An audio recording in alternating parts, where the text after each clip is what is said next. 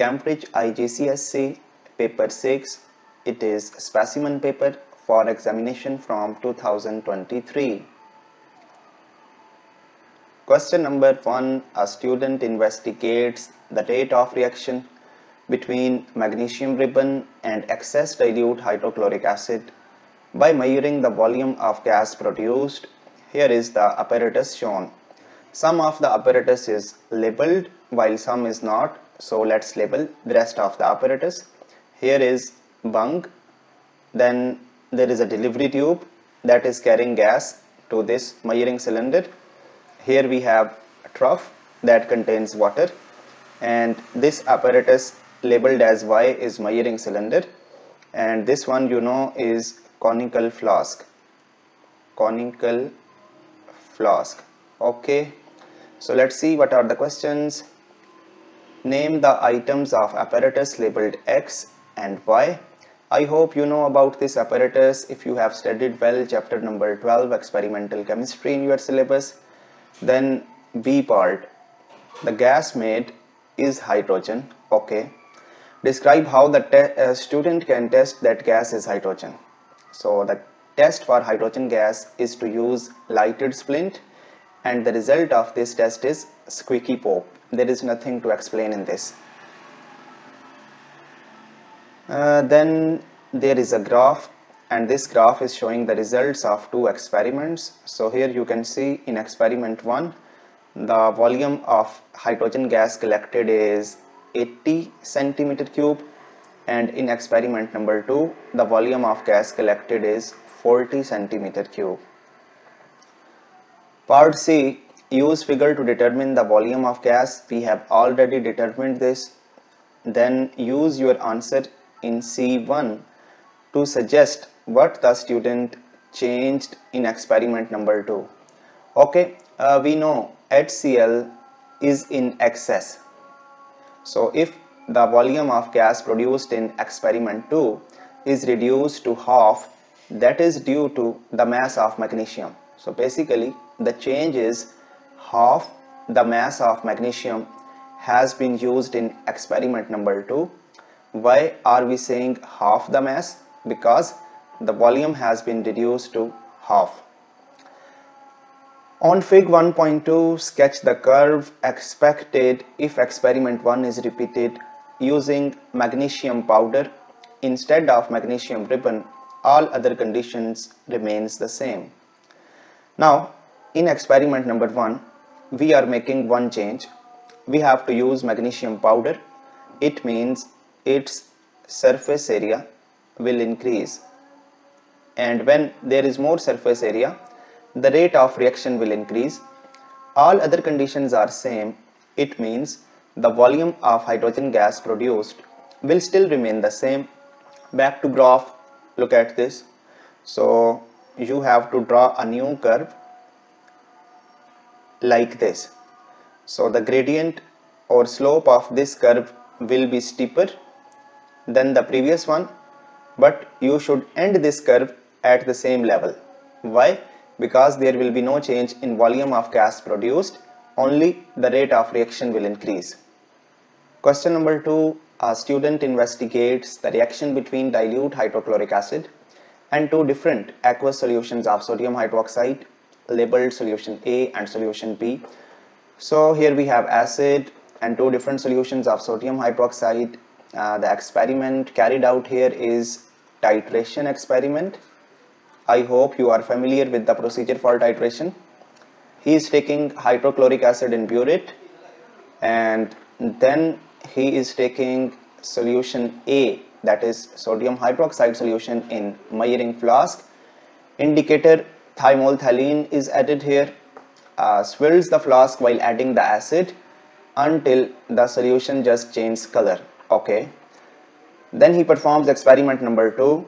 The student empties and rinses the conical flask with distilled water to remove any impurity or any substance that is left in the flask. Uh, then he repeats experiment number one using solution B instead of solution A the rest of the things are same okay? A part use fig to record the readings for experiment 1 and 2 in table 2.1 and complete table 2.1 okay? So this reading here is 4.1 and final reading is 29.5 and for experiment number 2 initial reading is 16.4 and the final reading is 29.1 uh, then there is a table and we have to complete this one. So all the values uh, we have clearly mentioned. So just take the difference for these values. For experiment number 1 the difference in initial and final reading is 25.4 and for experiment number 2 the difference is 12.7 this is for 4 marks. 1 mark is for writing correct initial and final readings for experiment number 1 and 1 mark is for correct values for experiment number 2 uh, 1 mark is for writing both these differences correct. And 1 mark is for uh, writing the accurate reading up to 1 decimal point at least. B part state the color change observed in experiment number 1 okay in this experiment we are using thymolphthalein and we are adding this indicator in flask that contains an alkali solution A or solution B. So you have studied the color of thymolphthalein is blue in alkali and when HCl is added to this in acidic media the color of this indicator changes to colorless. C part uh, which solution of sodium hydroxide, solution A or solution B is more concentrated? Explain your answer. So basically in both of the experiments the concentration of HCl is same. So if we want to know which of the two solutions A and B is more concentrated so we have to look at the volume of HCl used. Greater the volume of HCl used to neutralize the solution in titration flask the more concentrated it will be. So as you can see from the results uh, the volume of acid used in case of solution A is double the volume of solution used in uh, solution B. So we can clearly say the solution A is more concentrated. And why? Because greater volume of acid is used in this case deduce the simplest whole number ratio of concentration of solution A and concentration of solution we have already talked about this. The volume used for solution A is exactly double the volume of acid used for solution B. So we can say that solution A is two times uh, more concentrated than solution B. Uh, next is D part and what does it say? State the volume of hydrochloric acid needed if experiment 1 is repeated using 10 cubic centimeter of solution A. Okay, the volume of hydrochloric acid that we noted on burette in case of experiment 1 is 25.4 and at that time we were using 25 cubic centimeter of solution A in the flask. Now question is if you take 10 cubic centimeter instead of 25 cubic centimeter for solution A what will be the volume of hydrochloric acid used? So simply cross multiply this 25.4 cross 10 and divide it upon 25 it will give you the value for this x. It's 10.16 or round it off to 10.2 centimeter cube. So this should be the volume of acid used if you take 10 ml instead of 20 ml for solution A. E part. In experiment 2 the conical flask is rinsed with distilled water. Suggest why the conical flask is rinsed with distilled water. So after performing one experiment, it is important to rinse it with distilled water. So if there is any substance left uh, that can be removed. So to remove the substances left from experiment number uh, 1. And second part of this is conical flask is not dried after it is rinsed with distilled water so there is no problem with that because if some drops of water left there they will not change the amount of sodium hydroxide that we are using in experiment number two so you have to write uh, there is no need to dry it because it will not change the moles or amount of sodium hydroxide used. Uh, next is uh, F part of this question. State the effect, if any, on volume of hydrochloric acid used in experiment 1 if the solution of sodium hydroxide is warmed before adding the dilute hydrochloric acid. Give a reason for your answer. Okay. So uh, the volume of hydrochloric acid used depends on the moles or concentration of sodium hydroxide in the flask. Now if we heat sodium hydroxide, it is not going to change the moles or amount of sodium hydroxide. So there will be no change in the volume of acid used. So you can say there will be no effect on volume. Uh, why? Because temperature has nothing to do with amount of sodium hydroxide present. Temperature only affects the rate or speed of reaction. Alright. G part suggests how the uh, reliability of results from experiment 1 and also experiment number 2 can be confirmed. The only way to check the reliability of results is to repeat the experiment and then compare the results from your repetitions. Suggest a more accurate method of measuring the volume of solution of sodium hydroxide. This is what we discussed in the beginning. Student uh, used measuring, uh, measuring flask to measure the volume of solution but it would be more accurate to use volumetric pipette or even burette. Because volumetric pipette measures the fixed volume that is required in this case 25 centimeter cube. And also the burette can uh, measure with accuracy of 0.1 centimeter cube uh, instead of the measuring cylinder that is less accurate. After this there is part H. Aqueous sodium hydroxide reacts with barium chloride to form a white uh, precipitate of barium hydroxides. There are two solutions. One is for sodium hydroxide, other is for uh, barium chloride. But once they are added together, uh, we get barium hydroxide that is insoluble in water and it will give white precipitate. You have to use this information and suggest a different method of finding out which of the solutions of sodium hydroxide A or B is more concentrated. So the method that is explained above uh, uses the titration to determine which is more concentrated. But the information that is provided here uh, is giving us a hint about the method that can also be used to see whether solution A is more concentrated or solution B is more concentrated. What we have to do? We have to take uh, the same volume of solution A and solution B. So let's say take 25 ml. Why are we taking uh, the same volume of both the solutions? Uh, because we have to compare.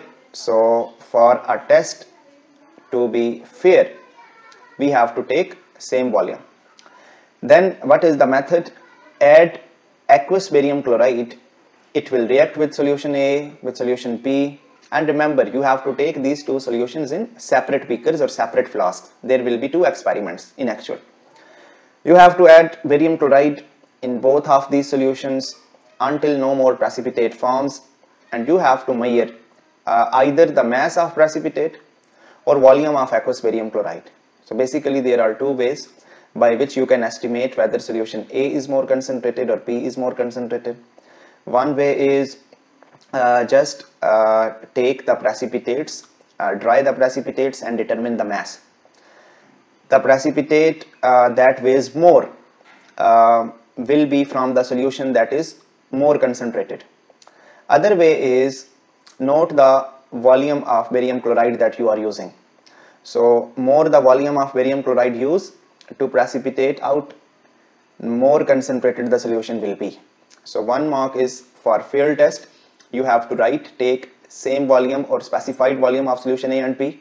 This is for one mark and one mark is about telling the way uh, about telling the measurement that you will be doing here so you have to measure mass of precipitate or volume of barium chloride whatever you like you may write and the last one is for writing the conclusion so I have already explained that question number three a student tests two solids solid C and solid D tests on solid C solid C is iron 2 sulfate. Complete the expected observations. Okay. The student dissolves the solid C in water to form solution C, right? The student divides solution C into three portions. Well, to first portion, the student adds 1 centimeter cube of dilute nitric acid followed by a few drops of aqueous silver nitrate. So good news about this question is that you will be provided with tables for tests for cations, anions and for gases. And if you look at the table for tests for anions, you will see this test where dilute nitric acid followed by a few drops of aqueous silver nitrate is used. This test is for halide ion, either chloride, bromide or iodide. Now we know the compound is iron sulfate. It means the negative ion here is sulfate ion and the positive ion is iron plus 2. There is no halide ion so the test that is used for halide ion should be negative. You can write there will be no change.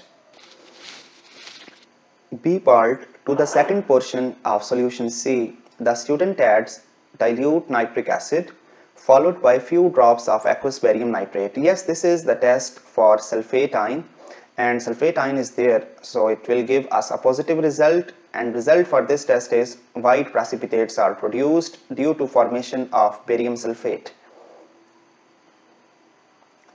C part uh, to third portion of solution C the student add aqueous ammonia dropwise and then in excess.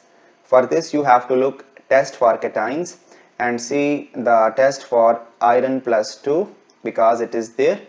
And iron plus 2 gives green precipitate when aqueous ammonia is added. And when this is added in excess the precipitates remain insoluble. It does not dissolve uh, next we have some tests on solid D. Okay look at the tests. Test 1 uh, do a flame test orange red color. So this is uh, the color for calcium ion you will be provided with table uh, flame tests. And test 2 to the first portion of solution D add aqueous sodium hydroxide dropwise and then in excess. So when you added uh, sodium hydroxide white precipitates are produced. If you look at the table for tests for cations you will see why precipitates are produced if there is aluminium ion or zinc ion or calcium ion all these three ions give white precipitate with aqueous sodium hydroxide. But when you add sodium hydroxide in excess aluminium or zinc if they are there precipitate dissolves. But here observation is telling us there is no further change mean the precipitate remains there it does not dissolve. It means calcium ion is there and not zinc or aluminium. Test 3 to second portion of solution T we are adding dilute nitric acid followed by few drops of aqueous silver nitrate. Again this is test for halide ion. And halide means chloride bromide or iodide and these give different colors. For chloride the color is white. For bromide it is cream color. And for iodide yellow color. Observation here is white precipitate. It means chloride ion is present there. So by using these three tests, we have confirmed the identity of solid D, it is calcium chloride. Now the question here is describe how to do flame test used in test 1. Okay, we have studied the procedure of flame test in chapter number 12 experimental chemistry. So first you have to take a clean nichrome or platinum wire Nichrome or platinum wire is used because it is inert and it has very high melting point. Then uh, you have to dip this wire into a salt that is to be tested. And there are two ways. You can either dip the wire into solid salt or you may use uh, the concentrated solution of salt. Then uh, you have to put this wire along with salt in a roaring Bunsen burner flame. Uh, obviously it will burn in the flame and some color uh, will be given so the last uh, part of this procedure is you have to observe and record the color of flame in this way uh, we may tell which cation is there e part identify solid. We have already identified that by using the three tests the solid is calcium chloride. So you can write either the name or you may write the formula for calcium chloride CaCl2 if you just write this formula you will be getting two marks. So it depends on you. Uh, last question question number four. Uh, this is a planning question. The label on bottle of orange drink states contains no artificial flavors. Uh, sorry contains no artificial colors. A scientist thinks that the orange color in the drink is actually mixture of two artificial colors.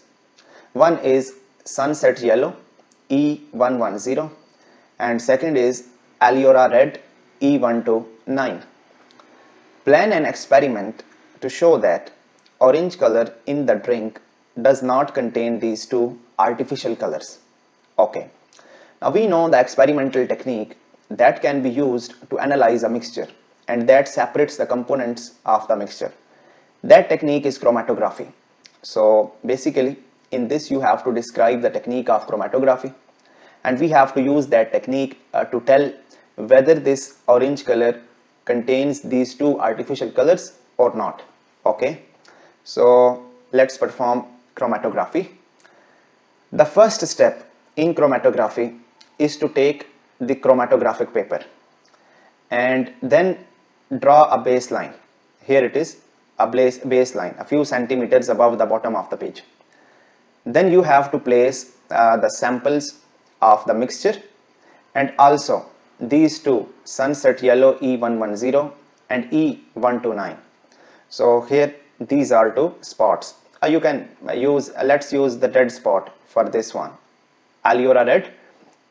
And this yellow spot is E110 so let's make it red color. Okay. The second step in chromatography is take this chromatographic paper and hang it in a beaker.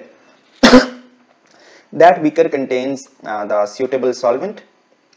And you have to allow this solvent uh, to raise up to this paper. And you have to wait uh, for this solvent to rise around 70 to 80 percent of this paper after that remove this paper and the result that is obtained on this paper is called as chromatogram. So both the samples this yellow and red one and also uh, the orange drink sample uh, the components uh, present in this will be carried by the solvent and you will see the pattern like this. Now there are uh, two different cases here. So basically you have to compare the spots produced from these two uh, artificial colors like this one and this one. You have to compare this with the result for orange drink if the heights for spots of these orange drink is same as those for the two colors then you can conclude that this drink contains the flavors E110 and E129 but here if you look at this chromatogram or you can say if the heights of the spots that you can measure by using the ruler. And I hope you know how to calculate the RF value. What RF value is you have to measure a height from baseline uh, to the point where component has moved along with the solvent. And you have to divide this height upon uh, the level where solvent uh, is rise. Okay? So if the heights of these two spots are the same as for the components of a mixture then this is a positive result. But if the heights are not same as you can see in this so you will conclude that the claim of scientist is not valid. And actually this orange drink does not contain any of the artificial colors uh, like E110 or E129 okay now let's have a look over the detailed procedure uh, for this experiment. Use pencil to draw a baseline on chromatography paper. This is first point. And second, apply the samples of orange drink and other two artificial colors at different spots on the baseline. Number three, dip this paper in solvent such that baseline is just above the solvent level. Okay, so you have to care, uh, take care of this that the baseline uh, should be above the solvent level so the samples should not be dissolving in solvent. Then number four allow the solvent to travel up the paper observe the separated spots and use ruler to uh, measure heights of E colors compared to orange color. Yes if heights are not same then orange color does not contain artificial colors E110 and E129 so that was the complete paper. Thank you very much for watching this